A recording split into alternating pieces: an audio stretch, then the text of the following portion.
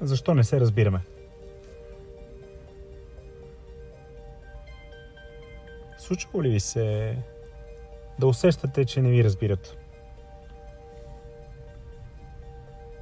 Странен въпрос. Май всеки е имал това усещане. Струва ли ви се, че хората, с които живеете, чувстват или мислят, че вие не ги разбирате? Да. Май е повсеместна на цялата тази история с неразбирането и днес ви предлагам да помислим заедно по този въпрос и да поговорим. Аз се интересувам много често от другите, защото се интересувам от себе си. Звучи парадоксално, понеже разбирам, че имам сериозен проблем с усещането за неразбраност. Проверявам дали наоколо някой друг има същото усещане, че е неразбран. Откривам, че близките ми хора редовно се чувстват неразбрани. Връщам се в миналото и се сещам, че съм виждал, че и родителите ми, и родителите на техните родители също не само са се чувствали неразбрани, а са изразявали трагичната си неразбраност. Едва ли не окончателната, непоправимата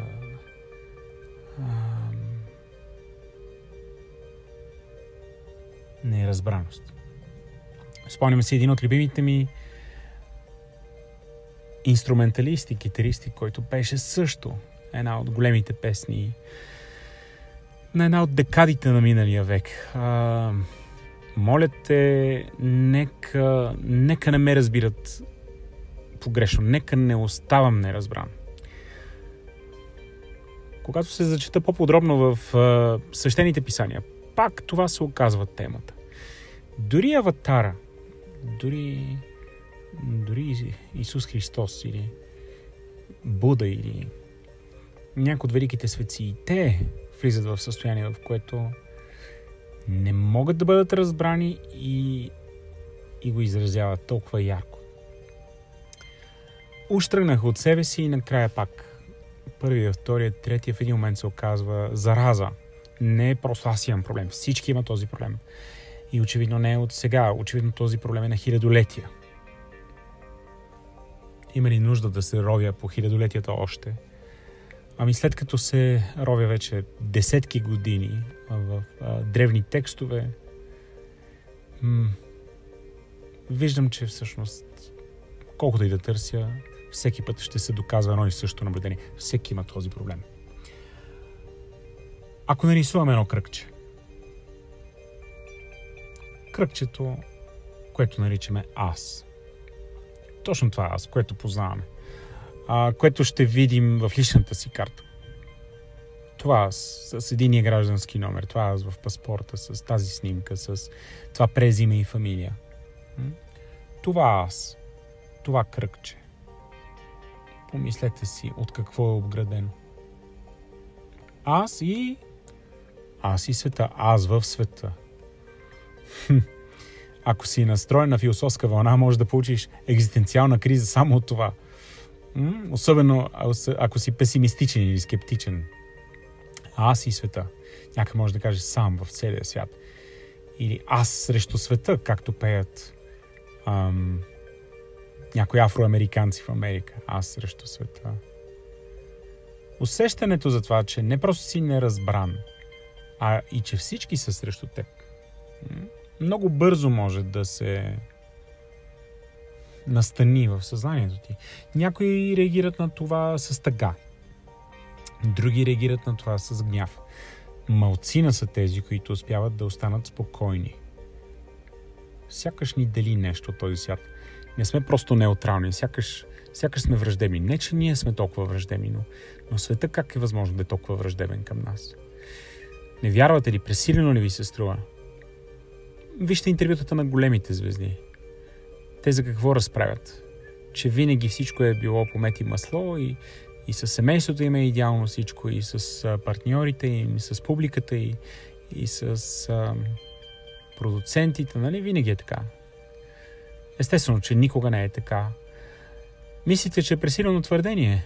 Погледнете как се чувстват децата в детската градина. Дори децата, от които са пропищели всички, дори и те са неразбрани. И техните родители също са неразбрани. Имам защо да знам. Въпреки, че моите деца не са такива. Или аз си мисля, че не съм бил такъв. Ако нарисувате това кръгче и ако го загледате, сериозен съм, това не е просто... не е метафора, не е театрален жест. Дори ако не можете да нарисувате в момента, просто нарисувате едно кръгче с пръст във въздуха. Това сте вие. Кой е едно око? Просто се огледайте. Ако сте вътре, най-вероятно има мебели, вие сте в някаква стая, в някакво помещение. Или в колата, или пък ако сте навън. Погледнете. Улици, нали? Алеи, тротуари, дървета, сгради, някакви вертикални и хоризонтални неща. Вие и останалия свят.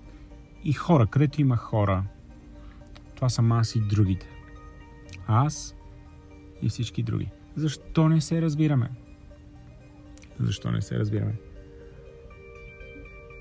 Следващата перспектива, която ви предлагам. Аз. Кой е аз?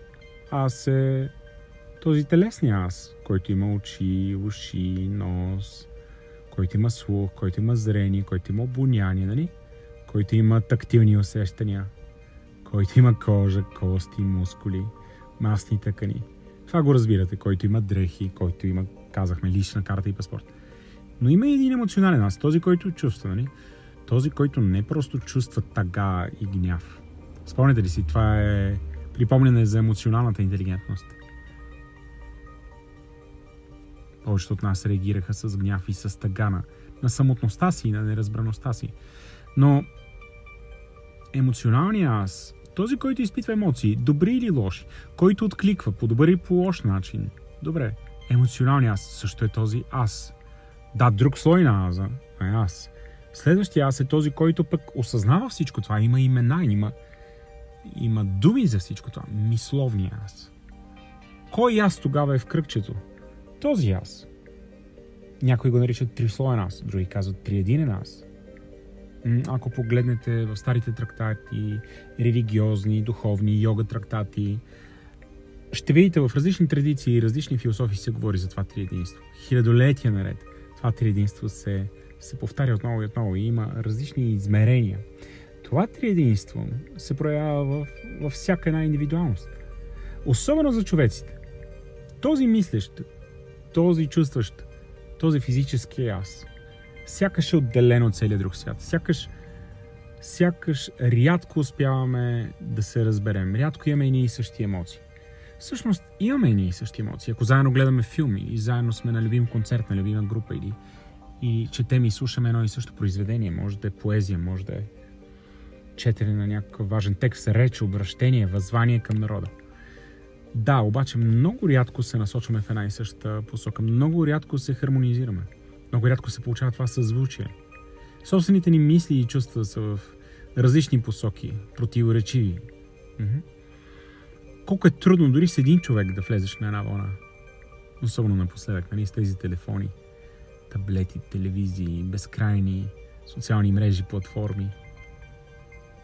Защо ни е толкова трудно да се разберем? Ами представете си, че там, където е другия, сигурен съм, че виждате хора наоколо. Ако не ги виждате на тротуара, виждате ги в съседните коли. Ако не ги виждате буквално пък, знаете, че са там някъде в съседния апартамент или, или знаете, че са на улицата, наблизо, на няколко метра са, на няколко крачки. Може би са просто в телефона ми всичките. Няколко стоти, няколко хиляди или десетки хиляди. Ако те също са едно такова кръгче, както ние сме сами в света, и те са сами в света. Както ние сме това кръгче и никой друг не е нас. И те са тяхното кръгче и никой друг не са те. Тази комбинация от мисли, емоции, тази комбинация дори от думи, тя е различна при тях. Тяхната физическа опитност, емоционални преживявания интелектуални преживявания са толкова различни. Дори подложените на едни и същи изпитания или въздействия, добри и лоши, имат съвсем различен спомен за това, което се е случило. Дори и същия час. Пет минути по-късно, ако двама приятели си кажат какво се случи, ще видят, че мислят по различен начин за това, което се е случило. Група ученици, група колеги. По същия начин.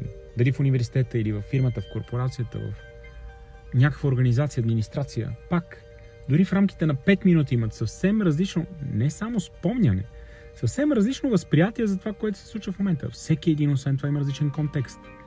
Има информация за това какво се случва от дома, близките му. Микса от чувствата, преживяванията, нещата, които ги очакват, нещата, които са изпратили, които са ги изпратили. Толкова различни са всички те, че всъщност филтрират всяко нещо, което се случва още на входа. Ние не виждаме нищо по еднакъв начин. Не чуваме нищо по еднакъв начин. И със сигурност не усещаме нищо по еднакъв начин. Трудно ли е да го разберем? От една страна ни е трудно. Не обичаме да мислим за това. От друга страна, много просто, на принципа на прехвърлянето. Ами да, щом аз усещам, че никой не чувства като мен и никой не вижда като мен, вероятно, вероятно мога да допусна, че и с другите е така. Ако аз се чувствам неразбран, вероятно и другите се чувстват неразбрани. Познавам по-умни хора от мен, които се чувстват неразбрани. Познавам доста по-глупови от мен, които пак така се чувстват. Познавам хора, които имат много повече поводи да се чувстват така. Но познавам и много повече хора, които имат далеч по-малко поводи и пак се чувстват така. Познавам много по-добри хора, по-образовани хора, които се чувстват така, но познавам хора, които са много по-лоши от мен. Пъти по-лоши. И пъти по-малко образовани. И пак така се чувстват. Значи не е това. С различен цвят на кожата. И пак така се чувстват. На отстояние столетия и хилядолетия и дори героите на филми, героите на книги, героите на митове и легенди дори, на приказки, на фолклорни предания, дори те се чувстват така а вероятно ни делят хилядолетия. В древна Елада, в древен Рим, в древна Индия, пак така, в древна Монголия, в древен Китай, пак така. Защо се повтаря тази история? Защо не се разбираме? Ами не се разбираме. Обаче самия факт, че всеки един е това кръгче, което всички други не са. Всеки един е такова кръгче вече ни прави една група, в която всички сме неразбрани. Защо хората не те разбират? Няма как да те разберат. Има още 8 милиарда човеци на Земята в тялото. Как ще те разберат? Кой ще те разбере? Дори при еднакъв език, дори да сте едноянични близнаци. Кой ще те разбере? Та нали всеки има различни думи за това, което се случва. Различни преживявания, сензорите му, още на входа му дават съвсем различна информация за това, което се случва. Камо ли, какво ще складираме, как ще го преработим, стимул, реакция. Мхм. Тези диаграми, общи кръгове, множества и естествено местата, на които се застъпват. При нас по неповторим начин се застъпват всички тези неща, за които говорих. Опитност, думи, мисли, чувства, отклик, реакции, стимули, интерпретации, презентирани, репрезентирани, обобщени, филтрирани, програмирани, препрограмирани. Какво остава за всички тези, които имат друг език, които са от друго поколение, които са живели при съвсем други условия, които не са имали интернет, които не са имали време, в което да не годуват или в което да няма война. Те как да ни разберат? Как ние да разберем тях? Защо не се разбираме? Защото в техния свят няма как някой да е тяхното физическо тяло, няма как да е техните мисли и чувства. Камо ли комбинацията от тях? На всичко отгоре ние всички, казват трактатите, сме душата, ние сме нетленни. Да, има една част, която е тленна. На нас ни се струва, че тежим 100 кг или 50 и някъде там душата е 10 на 20 или 50 грама. По-тежките души. Ти си едра душа. Не, стара съм. Може да се окаже, че е точно обратното. Не, че душата е една хилядна или една стохилядна от тялото, а обратното. Тялото е. Мисълта може да обиколи света за миг. Обаче, можем ли да кажем за тялото това? Дори да си най-богатия човек на Земята и дори да имаш супер, супер, супер скоростен самолет или космически летателен апарат, пак ще ти отнеме много-много време. И пак ще си един на няколко милиарда, нали? Защо не се разбираме? Точно за това, защото както ти си това кръгче и всички 8 милиарда други са други. Всички други са като теб също. Те са тези кръгчета, които не се застъпват. Нали? С никого не си сиамски близнак. А дори да си сиамски близнак, единия взема дясната част, а другия лявата част. Твое ляво или мое? От коя страна, като го гледаш? Все тази. Ето тези два кламера, които гледаме. М-м. Двата кламера. Някои от нас не разбират вен диаграмите. Виждам колко ви е трудно. А, хора, които са дори с повече от едно висше образование, хора, които са били в елитни гимназии, в елитни университети, също трудно го разбират. Ето ги тези два кламера. Кое е общото помежду ни? Просто малко прекарано време и убеждението, че наистина имаме общи преживявания. Повечето от нас не мислим за тези общи преживявания като различни. Изглежда, че имаме общи преживявания, нали? Колкото общи преживявания имат хората в един ресторант или една сладкарница. Всеки поръчва различни неща от общото меню. И със сигурност всеки има различни процеси, различна физиология, различна анатомия. Най-вероятно химията работи по различен начин. Една и съща химия, една и съща какво? Физика. Биоелектричество изучавам тези дни. Може да се окаже, че по един и същи начин всичко работи различно при всеки от нас по различен начин. Ето това е, защо не се разбираме. В момента, в който разбереш това, че ти си супер различен от всички, но и всички други са супер различни от всички. Всъщност ние по това си приличаме. Дори по това, че сме самотни, дори по това, че сме неразбрани, дори по това, че е невъзможно да се разберем, дори по това, че е невъзможно да си разкажем – няма как да запомним едни и същи неща, дори най-близки хора. Mm-hmm. Колко рядко е това усещане. Колко често всъщност ние се бронираме дори в най-трогателни мигове. Mm-hmm. Само наистина в най-най-най-тежки ситуации, за няколко мига, имаме чувството, че сме се стопили в едно общо събитие. Най-често е горесно. Понякога е такова много радостно и вълнуващо някъде в реките от сълзи, било то от нещастност или от щастие, ние имаме усещането, че не сме толкова различни от останалите. На голямо погребение, на голяма сватба, на, на някакво раждане, преди отново да ни погълнат противоречивите интерпретации. Защо не се разбираме? Има много отговори на този въпрос, но не ви моля да мислите по тези неща. Ние си приличаме много. А човеците сме само един вид, нали? Всички раси, всички континенти, всички нации сме просто един човешки вид. А останалите видове? Милиони видове, милиарди видове. И те на някакво ниво със себе си няма как да бъдеш тези близки птици, да не говоря вече за насекомите наоколо. Или пък гъбичките. Да, или пък микробите и бактериите, или пък вирусите. Има толкова други същества – милиарди, дори трилиони, казват някои учени видове.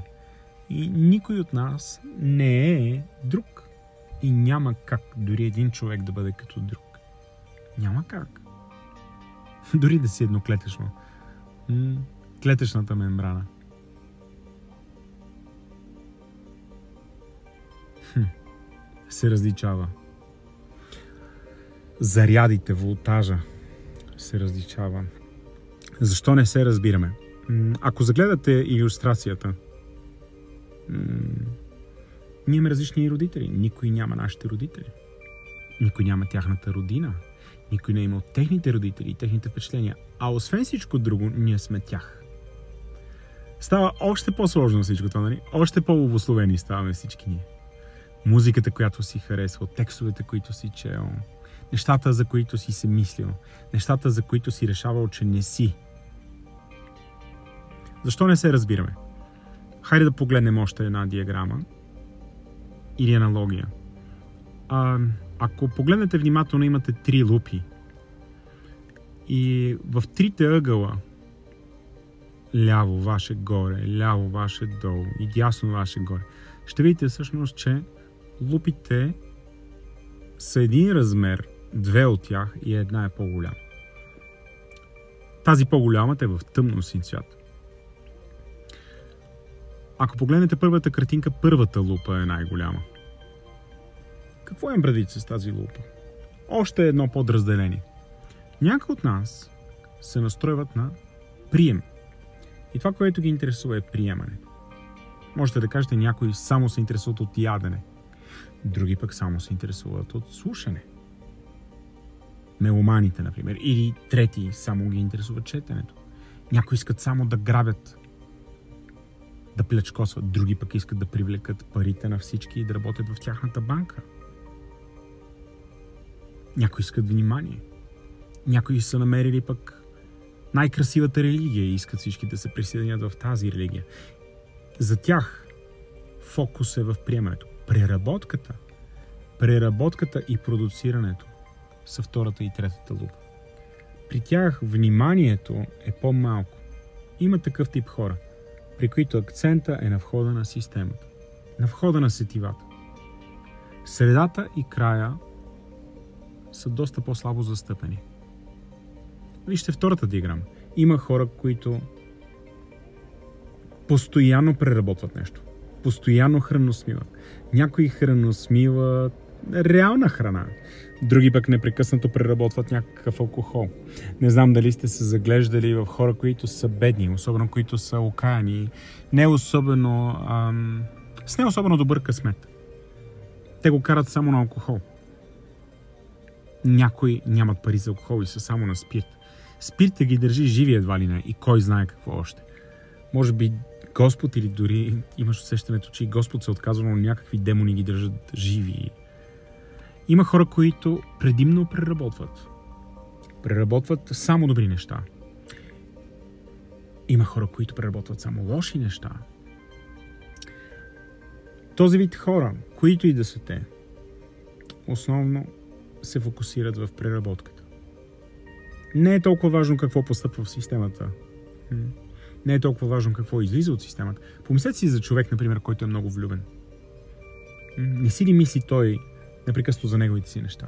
Помислете си за, за човека, който го вълнува. Помислете си за човека, който пък е открил нещо. Той мисли само за своето откритие. Помислете си за човека с мечта. Или човека, който иска да започне велико предприятие или бизнес. Тези хора са погълнати изцяло от това, което преработват вътре в себе си. Някой знае ли какво е в главата им? Никой. Някой знае ли какво те чертаят или пишат постоянно или пък мислят вътрешно, дъвчат и преддъвкват и преработват постоянно? Никой. И така има такива хора, които ни приемат, ни предават.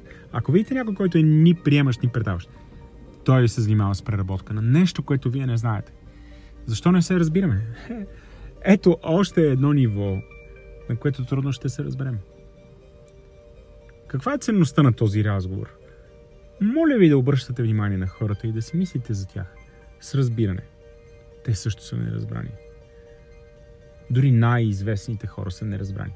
Погледнете хора, които се къпят, които се давят в народната любов.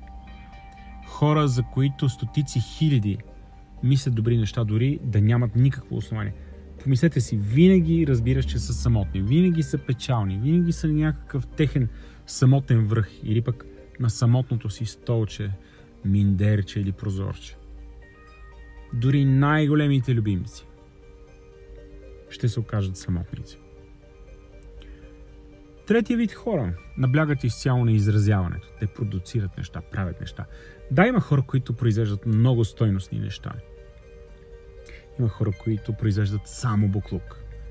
И въпреки това, някои произвеждат халтура, брак, Други просто много говорят. Трети действат. Сутрин, обед и вечер. Има ли значение какъв вид са тези продуциращите? Има, да. Има значение. Въпросът е, че най-вероятно тези, които наблягат на изразяването, са различни от тези, които наблягат на възприятието. И със сигурност са различни от тези, които наблягат на преработка. Защо не се разбираме? Ето ви защо. Огледайте хората наоколо. Спомнете си за това кръгче което се състои от три кръга, това, което ние наричаме аз. Всеки от нас наистина е толкова различен от всички други. Едновременно с това нашите процеси са толкова различни. На входа сме различни, по средата сме различни, разбира се, на изхода сме различни. Всички ние сме различни. Дори въглеродния ни двуокис и това, което изхвърляме от тялото. Ненужните неща. И те са различни. Еха. Кому е нужно всичко това? На нас ни е нужно. Ако разбереш колко всички са в твоето положение, ще видиш, че този свят е пълен с други като теб. Няма как да се почувстваш самотен. И другото е, няма как да усетиш, че, че не разбираш.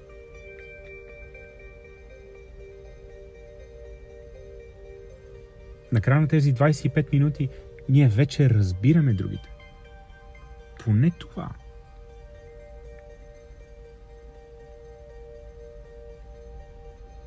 Може би те няма да ни разбират. Ние ги разбираме обаче. И по силата на това, че ние ги разбираме, ние вече не мислим за това, че те не ни разбират. Откъде тръгнахме? От това, че никой не ме разбира. Къде приключихме? Разбирам всички. Разбирам, че се чувстват неразбрани. И вече знам защо се чувстват неразбрани. Най-малкото няма да допринасям за това. Аз разбирам всичко това. Мога. Мога да им помогна с присъствието си. Мога да не тежа, мога да се усмихвам. Мога да предложа приятелска ръка, приятелска интонация, приятелски думи. Нали? Дори да не знаят какво им пращам. Вибрация, настроение, отношение. Осанката ми ще е друга, походката ще ми е друга. Хей, аз те разбирам. Дори да не те разбирам, пак те разбирам. Разбирам те. Най-малкото можеш да разчиташ, че няма да те обвинявам, че ти не ме разбираш. Едно обвинение по-малко е един обвинител по-малко в света. Защо не се разбираме? Всъщност разбираме се. Не се разбираме, защото не обръщаме внимание, защото не искаме да проумеем колко сме различни. Защото не искаме да признаем, че и другите страдат. Ако разбереш, че всички страдат. Разбира се. Когато разбереш, че другите страдат, ти вече страдаш по-малко. Или най-малкото не се чувстваш толкова изключителен. Не искаш да се качиш на един връх или на този връх и всички теб да слушат. Как виеш? Или крещиш? Яростно. Защо не се разбираме? Вие вече разбирате защо. И със сигурност вече не се чувствате неразбрани. Завършвам това с, с покана. Помогнете на другите. Поговорете с тях. Покажете им.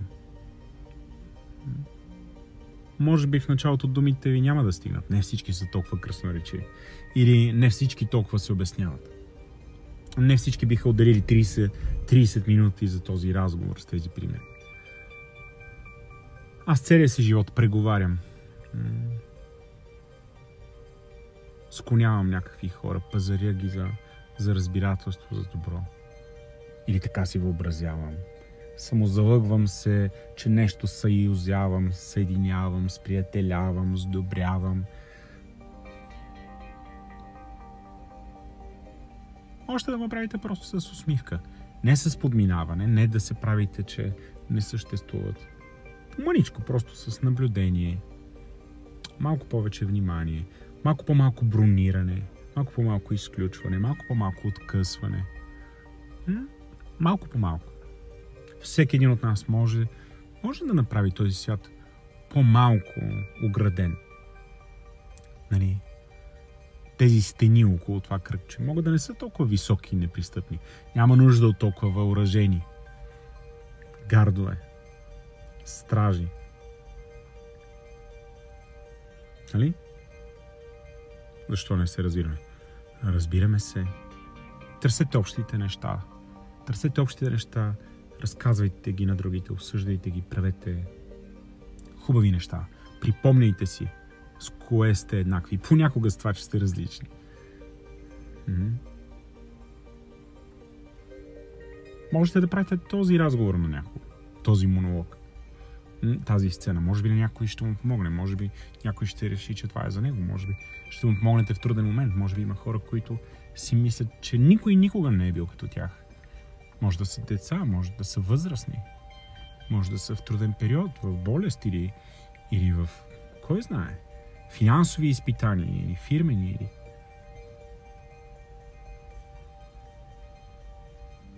Разбираме се.